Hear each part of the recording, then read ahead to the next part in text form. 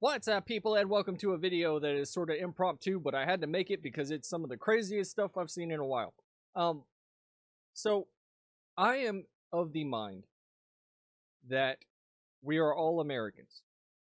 You know, it doesn't matter what color you are, it doesn't matter what your sexuality is, it doesn't matter what gender you are, it doesn't matter what nationality you are. If you live here, you are an American. We should care about what happens to America. We should care about the state of our country. And right now, the state of our country is chaos.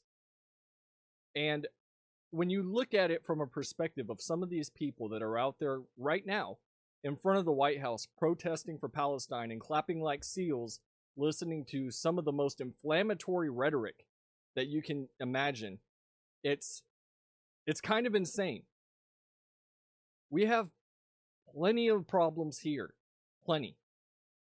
And it it blows my mind that you have so many people that it it's not even it doesn't make sense that these people hate this country so fucking much and will go out and tear shit up and scream and yell for a country they've never even been to. And it's kind of ironic that these are the same people that voted for Biden that are now standing outside the White House holding a like a decapitated effigy of him and burning American flags and basically being pro-communist at this point. And it's it's it, I don't understand it. I do understand that a lot of this shit is coming out of our current, you know, college and university system from a lot of these professors that are creating these little revolutionaries. But I don't know. I don't know what's going to happen with you know our our country moving forward and I had to go back and record this from a uh three letter news agency that's currently streaming the protests. We'll just call it the Communist News Network. You can infer what news network I was watching from the clip off of that. Um and yeah, it, it's it was just so wild hearing this girl talk because she's got to be at least in her 20s. And it's the type of rhetoric that if it were coming from somebody on the right or anything to the right of left at this point, I mean, shit, even if you're a centrist, you're a fucking right winger now. That if somebody had been saying something even remotely close to the shit that this girl is spouting out, they would get fucking black banned. They would get chunked in a van and you would never see them again. Or they would get chunked in a van and then they would get publicized to death by the mainstream media as some sort of uh, domestic terrorist. But this girl can just sit there and say whatever she wants, and everybody just sits there and goes, "Oh yeah, woohoo!" You know, because it's it's the current thing. And outside of a couple, you know, hardcore NAFO people this is the same thing that happened with Ukraine, right? For the longest time, it was Ukraine, Ukraine, Ukraine, Ukraine, right when Russia invaded, right? And then as soon as the Israel Palestine thing happened, then it was oh, Palestine, Palestine, Palestine, Palestine. Well, what about Ukraine? Oh, nope, nope, nope, Palestine, Palestine, only Palestine, everything. And it, it, it's like a switch goes off in these people's brains that tells them, okay, I need to focus on this thing now. And never mind everything else, right? So I had to I had to redo this intro because for some reason my recording stuff was not recording me talk. So I'm probably going to cut in where I actually realized that I was muted the last time I recorded this. That way it saves me a little bit of trouble of having to listen to this girl screech for about 5 minutes. And I do warn you, there is a volume warning on this because she is literally screeching. And I I don't know how I was able to sit through it. But it it's it's bad.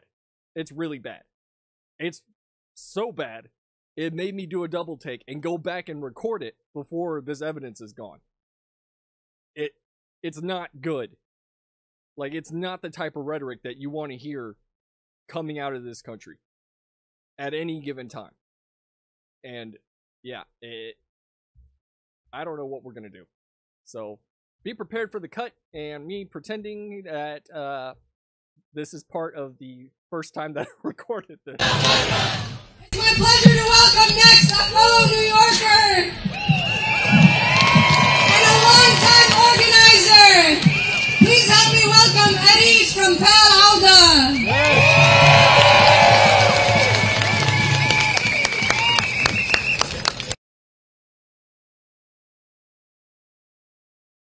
Muted. There we go. Okay. I just realized I was muted. Thank God I caught this ahead of time.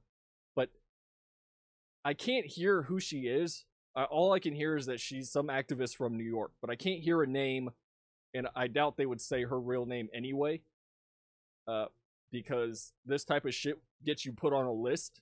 What she's about to say. I, I, yeah, let's keep going. Assalamu alaikum, comrade. Assalamu alaikum, comrades. I come to you on behalf of the Palestinian Assembly for Liberation and Pal Alda, New York. We stand here today in the wake of one of the most gruesome massacres Gaza has seen to date. Over 210 Palestinians assassinated at refugee camp with re- shame with reports suggesting that American troops were amongst the soldiers who fired at multiple times displaced refugees. right there, she brings up that there's a report of American troops firing at Palestinian refugees. I have not heard of that happening yet, but already that's that's already incitement. That's anti-America rhetoric. That there's the reason for saying that. There's no concrete evidence of this happening. The reason for saying it is to rile people up even more, right? These troops came in by way of a false pier in central Gaza and dummy humanitarian aid trucks. Shame! In the words of the founder and director of the PAL-Awda Commission on War Crimes, Justice, Reparations, and Return, Lamis Deek, they may have the power right now, but we are working to ensure that this is the beginning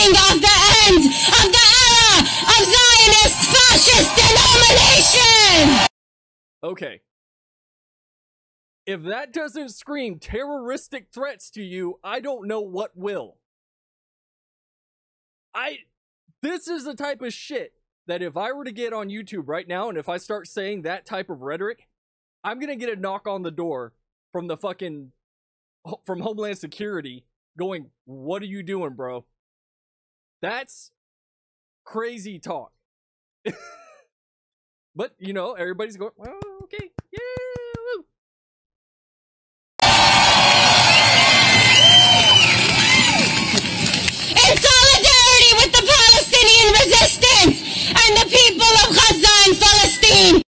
Palestinian resistance. You mean Hamas. Just say Hamas at this point. Just say it. who have been steadfast on the front lines of the struggle for decolonization and anti-imperialism. We will be the red line. That's that's what that means. We support Hamas. We will amplify the call of the freedom fighters, the martyrs, the prisoners, and every single Palestinian. Not only will we continue protesting in the streets and boycotting and calling for divestment and sanctions, including that of Citibank and Chevron and any and every institution that profits off of the blood of the people in Gaza and Palestine, we will escalate the calls to action by sending delegations to Palestine to record crimes against Palestinians.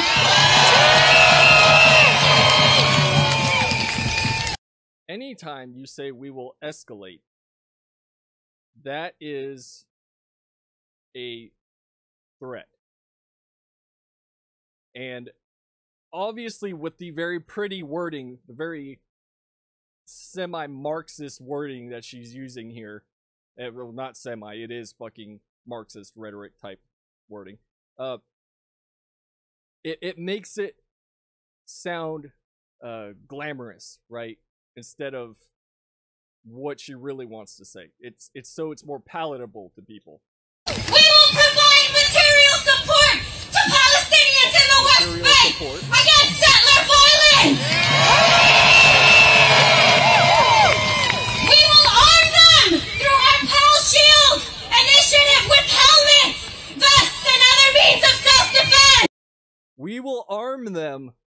With helmets, vests, and other means of self-defense. What do you think she means by that? Who is she arming? Is she arming the civilians that are fleeing? Who exactly is she supporting here? Who is she arming? That's the first question that popped through my head. Who exactly are they arming? Oh, the resistance. We're arming the resistance. So you're supporting Hamas, right? Because at this point, to all these fucking lefties, Hamas is the resistance. They're they are pro Hamas. That's that's it. Plain and simple.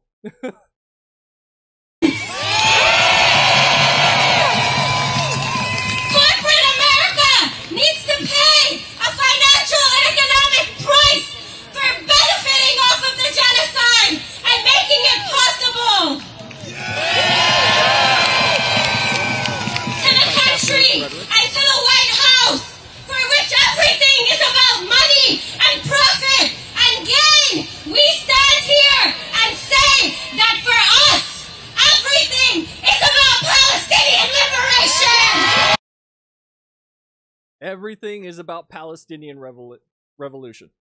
You know, they're in front of the White House right now. They're literally in front of the White House. Again, this is the type of shit that if you were a conservative or somebody on the right, if you were saying anything even remotely close to what this woman is saying, you would get picked up and black fanned. Just straight up. You they would never hear from you. You people wouldn't know where you went. You'd just be gone. They'd throw you in jail, say you're guilty, and you'd never hear from them again. It, it, it's it's true. But she gets to stand there and, you know, basically say stuff that is borderline terroristic threats. And yeah, everything's fine, right? Totally not in the Everything is about justice until the hour of liberation and until every moment after liberation.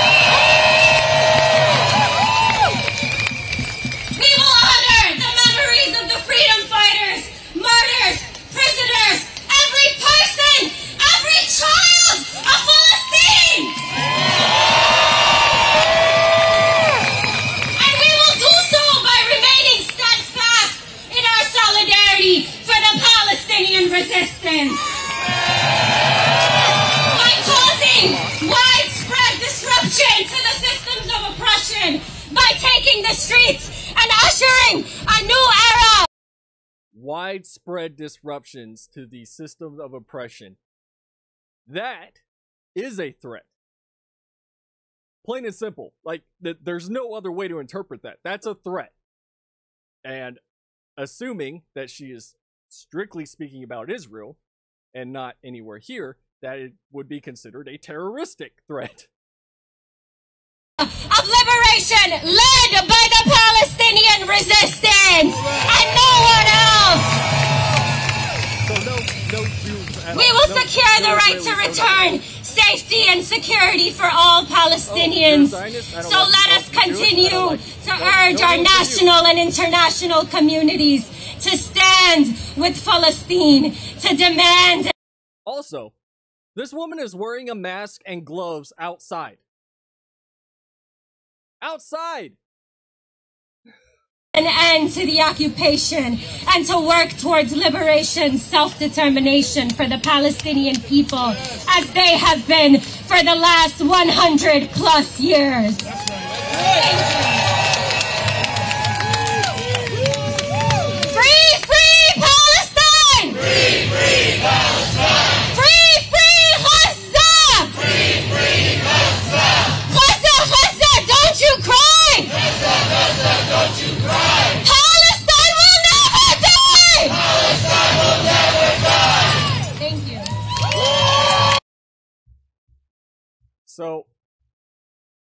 That's that's the current generation right there in a nutshell. And we're we're so boned as a country. I can't even Jesus Christ. Um yeah, I if you were on the right saying that type of shit, you'd get locked up. And that is probably the most extreme example of rhetoric that I've heard yet outside of, you know, morons on on X or Twitter or whatever you want to call it or Reddit. They're not trying to hide it anymore, right? They don't care.